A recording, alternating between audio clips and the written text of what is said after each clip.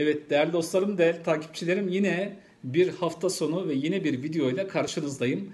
Bugün size iki tane ürünün birlikte kullanımıyla hangi rahatsızlıkları tedavi edebiliriz ondan bahsedeceğim arkadaşlar. Ama onun öncesinde yine e, bir tespit yapmak istiyorum. E, bu tespitin sonunda da ürünlere geçip ürünlerle bu sayacağım rahatsızlıkları nasıl tedavi edebileceğimizi anlatacağım size. Peki bu rahatsızlıklar hangisi? Arkadaşlar sedef, egzama, ondan sonra hasta yarası, mantar. Bugün bunlardan bahsedeceğim. Bunları e, çok basit şekilde e, bitkisel ürünlerle nasıl tedavi edebiliriz onu anlatacağım size. Onun öncesinde arkadaşlar hani bir tespitte bulunalım dedik ya. Bu sedefe, egzamaya, işte ne bileyim mantara vesaire ne şey yapıyor, ne, ne neden oluyor? Aslında kullandığımız deterjanlar bunların en büyük sebeplerinden.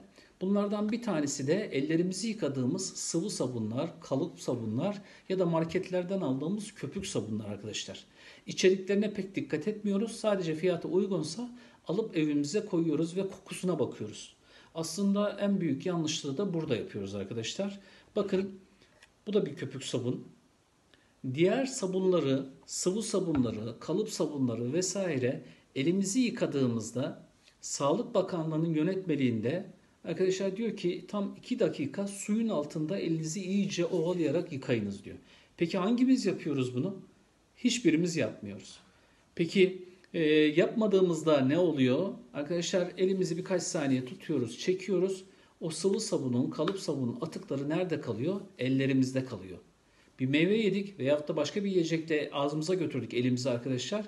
Oradaki kalıntıyı midemize yolluyoruz. Bu da birçok rahatsızlığa sebebiyet veriyor arkadaşlar. Peki bu ürün nasıl bir ürün? Arkadaşlar bu köpük sabun, bu köpük sabunla elinizi yıkadığınız anda suyun altına tuttuğunuz 5 saniye içerisinde arınır ve hiçbir kalıntı bırakmaz. Bu çok önemli ve değerli. İkinci bir özelliği var. Yıkadığınız bölgede bir koruma kalkanı oluşturur. Tam 8 saat o bölgeye virüs, bakteri vesaire bulaşmaz. Şunu yapabilirsiniz. Çocukları çocuğunuzun elinizi yüzünü bununla yıkayın arkadaşlar. Okuluna gönderin. Ee, okulda çocuk nereye dokunursa dokunsun, yolculuk esnasında nereye dokunursa dokunsun, o dokunduğu yerlerden herhangi bir virüsü, bakteriyi vesaire hem kendisine hem de sizlere bulaşmaz ve getirmez arkadaşlar. O nedenle çok önemli bir köpük sabun.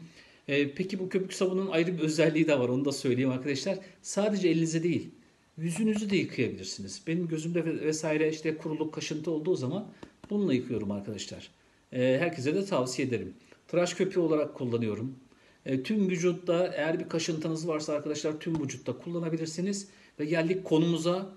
Arkadaşlar hasta yarasında, mantarda, işte egzamada, sedefte de bunu temizleyici olarak kullanacağız. Peki yanında neyi kullanacağız arkadaşlar? Sabah akşam bununla temizleyip kuruladıktan sonra işte muhteşem bir krem arkadaşlar. Çay ağacı kremi. Fakat bildiğiniz ya da duyduğunuz herhangi bir çay ağacı kremi değil bu. Özel bir formül. Uzun süren e, ARGE sonucunda piyasaya sürülmüş bir ürün arkadaşlar. Çay ağacı ile birlikte birçok bitki ekstrak daha var içerisinde. O nedenle herhangi bir çay ağacı kremi değil diyorum. Özel bir formül diyorum arkadaşlar. Birçok ciltle ilgili birçok sorunu halleden hücre yenileyici özelliği sahip bir krem arkadaşlar. Hasta yarasında, egzamada, sedefte köpük sabunla yıkadıktan sonra arkadaşlar bu kremi sabah ve akşam olmak üzere sürüyorsunuz. Bir uyarı yapayım bu arada. Bu kremi mutlaka buzdolabının rafında tutun. Çünkü sıcaklar geliyor. Sıcaklarda yağlaşabiliyor. Özelliğini kaybetmiyor ama birden akı verir. O nedenle konsantre bir ürün olduğu için arkadaşlar daha az daha ekonomik olması açısından buzdolabının rafında tutmanız önemli. Velev ki dışarıda tuttunuz yağlaştı arkadaşlar hemen buzdolabına atın. Birkaç dakika içerisinde zaten formuna hemen kavuşur, katılaşır. E, mutlaka evinizde bulunması gereken kremlerden bir tanesi arkadaşlar. Daha önce de zaten önceki videolarıma bakarsanız bu kremle ilgili detaylı bir anlatım yapmıştım. Onu da mutlaka inceleyin. Ee, bir e, bilgi daha vereyim size. Arkadaşlar köpük sabununuz bitti. Bunu atmıyorsunuz. Çevre dostu bir ürün aynı zamanda. O amaçla da üretilmiş. Arkadaşlar bu boşaldığı anda bunun konsantresinden bir tane sipariş veriyorsunuz. İşte köpü e, şeyi var, deniz minerallisi var arkadaşlar. Buket freşlisi var. E, çiçeklerden oluşma e, bir kokusu var, güzel bir kokusu ve defnelisi var. İstediğinizden sipariş verebilirsiniz. Bu konsantre üründen arkadaşlar bu köpük sabunun şeffaf kapağı kadar koyuyorsunuz.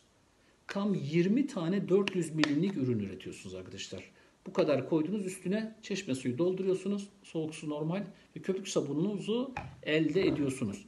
Hem ekonomik hem de sağlığınız açısından açısından çok faydalı ürünler.